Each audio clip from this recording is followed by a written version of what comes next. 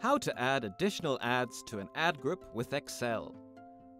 You can create several ads and automatically serve the most effective ones to your audience for every advertising offer you make in Yandex Direct. Making several ads helps you understand which ones work better in attracting clients and as a result increase the overall effectiveness of your ads. In this lesson, you will learn how to quickly add an ad to an existing ad campaign which you are managing with Excel. How to add an ad.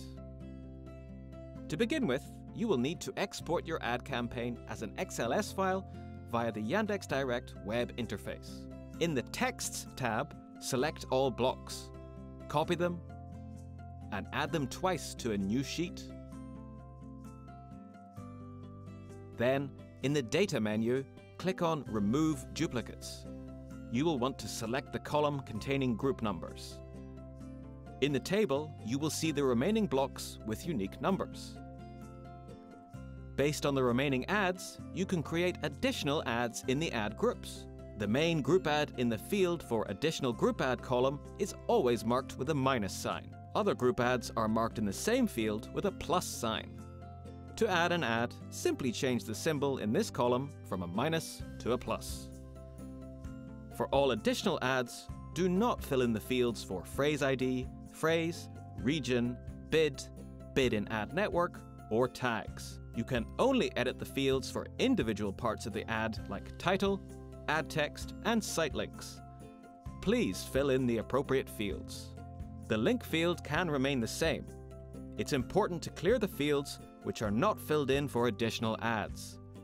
They are region, bid, and ad status. Leave the link parameters fields without changes. Negative keywords can also be removed. This is how you add new ads to each ad group. To add new ad text variants, simply copy the table once more. Then just fill out the appropriate columns. Now for the final few steps. Select all the information in the table. Then sort by the group number column and make sure the sorting is set to ascending. You will be able to see that in each group you have added additional ads. Copy the data from this sheet and save it to the Text tab. Delete the sheet you created earlier so that you can upload the file without causing an error. Then upload your file to your original campaign.